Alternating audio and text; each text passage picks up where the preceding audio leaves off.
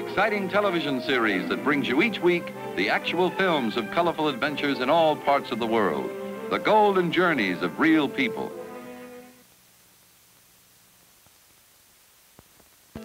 Good evening, ladies and gentlemen. We have all heard of the strange rituals known as voodoo. And this weird practice is to be found in that little-known island of Haiti, the land of the Mad Emperor. Now, very few tourists ever get the chance to see voodoo in its most frenzied aspects.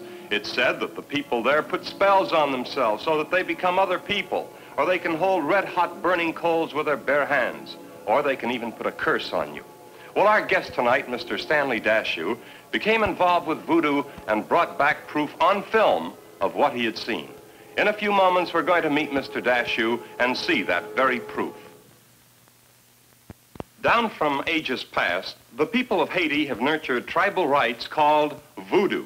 Today, voodoo is in part a dance, partly religious worship, and overall something unique. No other peoples have anything like it. Is it hypnotism? Is it frenzy? Or is it just an exaggerated mambo? For the answers to these questions, we turn to our guest tonight, Mr. Stanley Dashew. Mr. Dashew, what led you to Haiti, and how did you get involved in this weird voodoo business? Well, Jack, sailing ships have always been my hobby. And back in 1947, I took a trip through the West Indies and visited Haiti briefly. Uh-huh. And then in 1949, we decided that we'd uh, take a real long trip for about a year.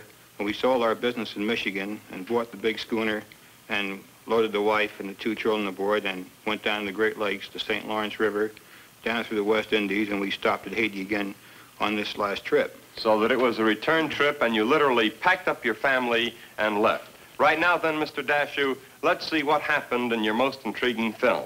Here then, ladies and gentlemen, is Voodoo. The Dashew's adventure takes place here in Haiti. Well, that's the Constellation. She's really a beautiful ship. She's 76 foot on deck and uh, 91 feet overall. And this would be the proud owner, I imagine. Well, yes, that's uh, that was me trying to make a decision whether to give up the business and take off on the year's John or not. And it took a lot of thinking and sweating. Miss Martha and uh, Skipper and myself were looking over the globe and picking out the spots that uh, we wanted to go. These are some of the charts that uh, you have to study before you take off and get a, a thousand of them on board. Those things have always confused me, I'll have to confess. I'm not much of a sailor, but I love the sea. And incidentally, that's my chief engineer. He's in our business now. He was on part of the trip with us, and he uh, took that shot from up there. He was a uh, sailing master on the schooner for about four months of the trip. As the wife said, when we put these books aboard, uh, I'll bet you never read them, and we didn't. We didn't have time for that. Too busy sailing the ship to the port, eh? That's right. Uh-huh. That's a little Christmas tree we uh, put aboard because we knew we'd be out of the country, you know. And that's little Leslie. See, he was uh, three months old when we left. And here That's we a- shove off. Yeah, that was a great day. It, uh, A day like that must be a very memorable one, it seems to me, taking off on a cruise like this. I should think you'd remember it with a feeling of great pride as well. well, it was. But of course, the real pride was in accomplishing the trip and arriving here in uh, Los Angeles after 16 months. And uh, uh, there's a lot of skill uh, and care uh, required in handling a ship. As you can see, uh, there are all kinds of lines and uh, blocks and gear.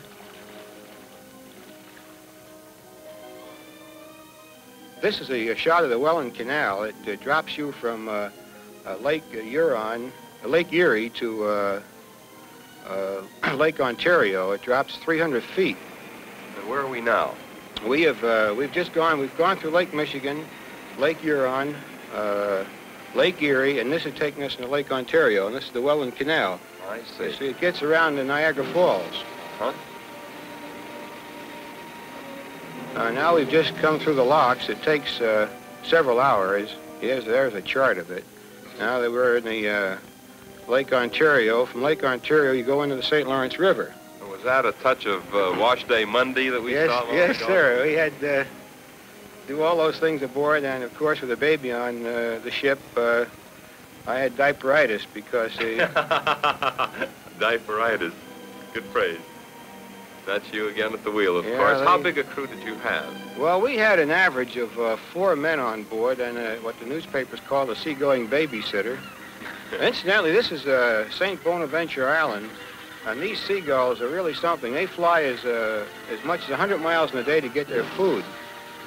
Uh, it's a very famous island. It's been written up in the National Geographic, and it's a tourist attraction on the, some of these steamers that go down the St. Lawrence uh, River. Well, what did you mean when you said that we averaged uh, four? It se- uh, did you lose any? Uh, Well, Jack, we had an amateur crew. You know, we had uh, college boys and some doctors, lawyers, and accountants and so forth. And uh, since the trip lasted 16 months, most of them, uh, at one time or another, had to leave either to go back to school or get back to work. So uh, we sometimes had five or six people on board, and then we get down to three. But uh, the average was about four people all, all the time. This is where we picked up some lobster. This is the uh, entrance to uh, uh, Boston Harbor. And uh, little old Leslie, she didn't worry about that lobster one bit. Of course, to, to a seagoing baby, that might make a good toy. Now she seems completely indifferent. There's the uh, lady herself coming up the uh, New York Harbor. And this, of course, is a great view in the, in, in New York skyline. It's always terrific. We uh, only went, uh, we went from New York down to Florida. We went inside about uh, 200 miles inland waterway, then stopped at Miami for a couple of days and off to uh, Cuba. That's taking uh, soundings. When you go in these strange harbors, you don't, you don't depend on the charts because uh, you don't know when they were made. And the Constellation uh, drew 10 and a half feet, so we were down pretty deep in the water, and we had to be very careful. Surely.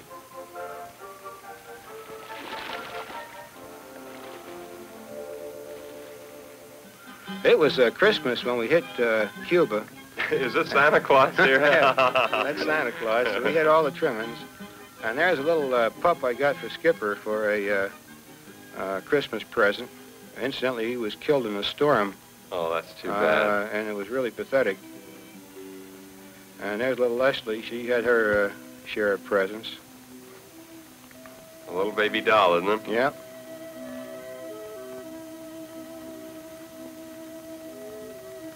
You have to think of a lot of things when you go off on a long trip like this, you know, because uh, you, you just don't go around the corner to a drugstore or a big uh, grocery store or stuff to get what you need. Uh, Surely. Well, this certainly looks like Christmas dinner, I'll bet. Was it? yes, that was a that was a lamb. Uh, uh, some of the folks said it was a goat, but uh, I still claim it was a lamb. And now you're down the Jamaica way, That's aren't right. you, judging from the map? We spent uh, some time in Cuba and then uh, off to Jamaica, sailed across. And this was really one of the uh, most exciting episodes we had ashore, you might say. This is the Rio Grande River in Jamaica. And it's, as you can see, a pretty roaring uh, stream. And this was a rainy season. And that's really rain you see on the screen there. I decided that I'd take a chance and uh, uh, go down the river, and Skip wanted to go, so we put a life jacket on him, and uh, it was really quite a thrill. It's boiling there, isn't it? Yeah. Just boiling. Well, they put you to work, too, didn't they? Well, we got we went aground there, you see, and uh, we had to pull off before we got flipped into the uh, rocks. Huh? Because Bamboo end- raft, isn't it? Yeah, it's all bamboo. Well, here's here's something I can't show you all the photographs we took, but actually over in Jamaica they skin these alligators alive, and you can see the rip down the back of that man's hand there where he started to skin him, and he's you see he's still alive. They say the skins aren't any good uh, if they skin them after they're dead. Look at those graceful flamingos. They're beauties. And now we're off again. And the storm clouds were brewing. Going from uh, Jamaica over to Haiti, the Windward Passage, we really got caught in it there. We had a, a very, very rough passage. And, uh, Mom seems to be having a little trouble with well, the wheel there. we, we kept her uh, in trim, you know, that way. Leslie didn't bother her a bit. Although the pup got in the way, uh, we almost uh, tramped on him, and we put him down below. And during the course of the storm, the generator was running, and uh, after the storm was over, we looked for the pup, and uh, by gosh, he was killed, and it was really uh, quite a quite a thing. You see, he crawled out of Skip's bunk, and then Oh, he went down. that. They must have gotten along famously. Oh, uh, they did. He was a fine little pup, and uh, we had quite a burial at sea for him. We wrapped him in a casket and put a Cuban flag around him, and It must have been heartbreaking for the Yeah. boy. She'd gotten to be quite a sailor, I'll bet, by the time this journey was half over. Well, uh, she uh, she had about four or five or six men around her all the time. I think it spoiled her for life. Well, after the storm, we uh, we did quite a bit of uh, checking up and uh, uh, on the ship, which we always do. And we we had a few minor things, but no nothing serious. When we got back to Haiti, this experience uh, really started on on this uh, voodoo thing. This is a, a very colorful parade. They have a lot of parades any place, you know, in Latin countries or s- south of the borders, you might say. And the rhythm of these people is just just natural. It's just terrific. And the color, uh, you just see this film in color, why you, you you just just stands out there. French is their language, isn't it, Yes, on the island? yes. French? hmm is the beginning of, of, of the voodoo story, really.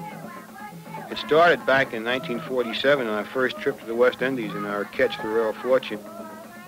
We had met some uh, people in Haiti. Uh, they predicted we would be back, and as a matter of fact, they predicted that we would have another youngster, which was the doctor had told us was impossible, and it actually happened. And, they And it actually came Yeah. true. Yeah. this was told to you in Haiti. Yes, in 1947.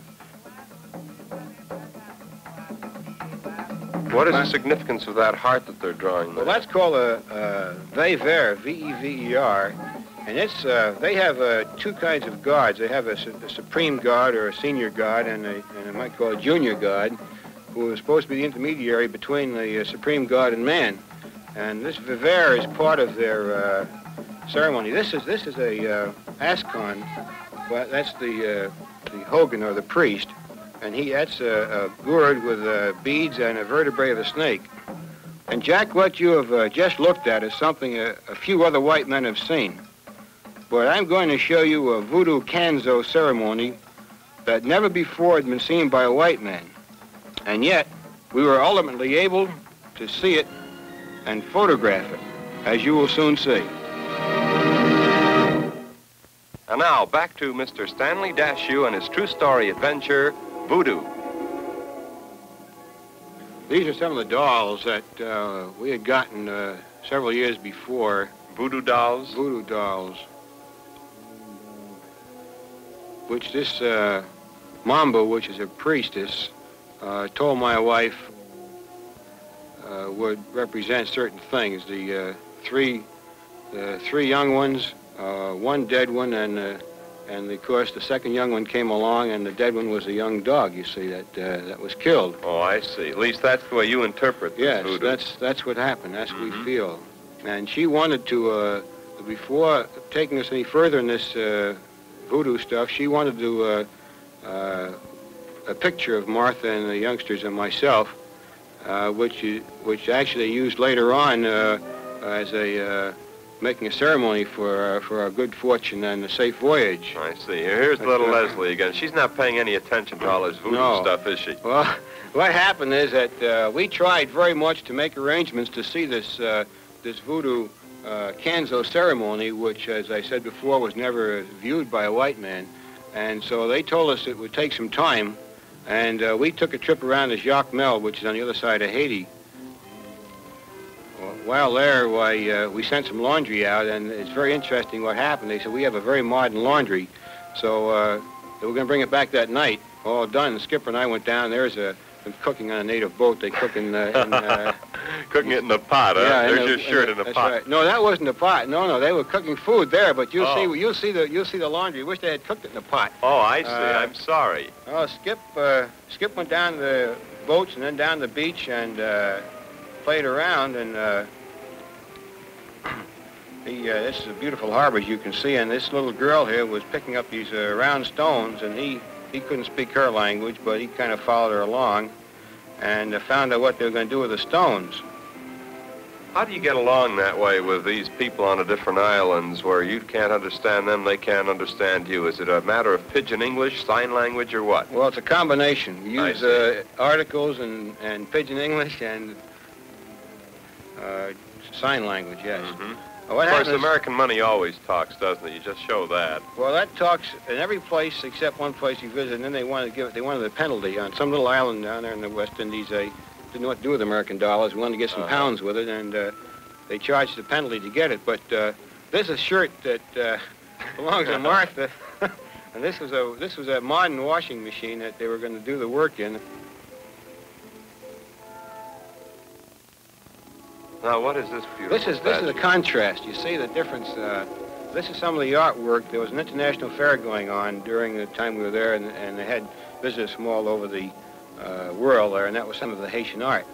And this is just another contrast. This is a marketplace. They do such beautiful things there, uh, and yet other things are so crude. The uh, marketplaces all throughout the West Indies and Latin America are really uh, interesting, and we bought a, a dress here for Martha. It's uh, uh, it's made out of, uh, uh, they use uh, flour sacks and uh, sugar sacks and things. That's the uh, clothing. That one's made of egg mash. And uh, you have to have a, You, you can walk along and know where your dress came from. Is that the idea? That's right. This was the boy that did the moderating for us. So you have to kind of bargain a little bit there, and he was the judge.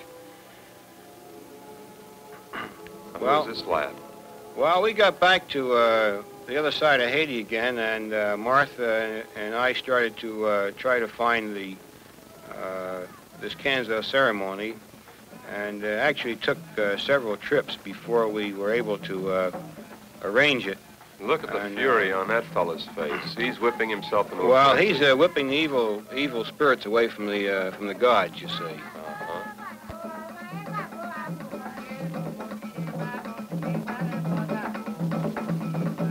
You look at the expressions on these faces. Those are chickens that are waving around in the uh, in the air. It's uh, very good luck to be touched by a chicken. Uh, that's what they In the feel. course of the In the voodoo course the This right you see, is the is Kanzo, which means fire. It's the highest uh, rite they have, and these people uh, prepare for sometimes many as three weeks. How did these uh, people feel about you and your wife being there watching this? Did they raise any protest, or had that all been arranged for you? Uh, well, it had been arranged, but uh, frankly, you saw the fellow with the sword at the end of the ceremony, because I was photographing some of this in stills, and I felt almost a sacrilege doing it. There's this music, these drums that just go through your body, and uh, at the end of the ceremony, uh, this uh, Laplace, who was the master ceremony with the sword, and the two uh, women on each side of him came at me waving that sword, and I thought that I didn't know what to think. I froze. I, I had a smile on my face, knew they were going to cut my head off or, uh, or what. And they finally came up to the uh, up to me and presented me with a sword as a token of their esteem or something. Oh, I see. But I was uh, really scared. I, I must admit that. Now, what we're doing now is this uh, this uh, ceremony, as I said, fire, and that's meal, uh, cornmeal, which was boiled in that hot oil. And the first thing they do is the uh, first part of the ceremony, they take that hot oil and they uh, hot cornmeal and make the person squeeze it in the hand. That's of course worse than the, even Mm. hot oil itself. And then they put their feet Mm. uh, in the flames. Frankly, it was very hard to ha- hard to actually photograph it. You know, it, it was uh, Oh, almost I imagine. unbelievable. How, how could you possibly look and photograph at the same time? Just incredible. And this music, it is just the strangest thing I think I've ever heard. Well, after the ceremony, there these initiates are brought out and they put a new clothing on which never worn before, and they're blindfolded.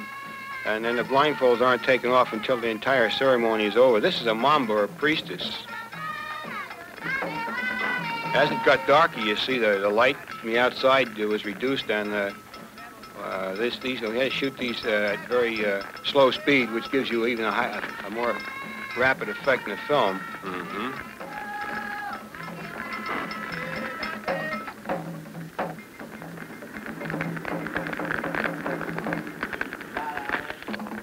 Well, after the uh, Kanzo ceremony was over, uh, they asked us to come to this tree, which was a, a very, very old tree in Haiti and uh, was a, a, sacred tree, and uh, uh, asked us if we would meet him there. We didn't know what was going on, but when we got there, we found that uh, they had prepared this Vever showing the ship and had this ceremony set up. Beautiful, just beautiful.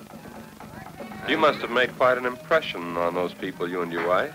Well, it took a long time because many people have gone to Haiti and written stories about voodoo uh, which are un untrue. I mean, voodoo is a religion, and uh, they, they're very much against people coming there and seeing any kind of voodoo, even the simple ceremonies. And we, uh, I think, showed that we were really interested in finding out the true facts uh, about voodoo.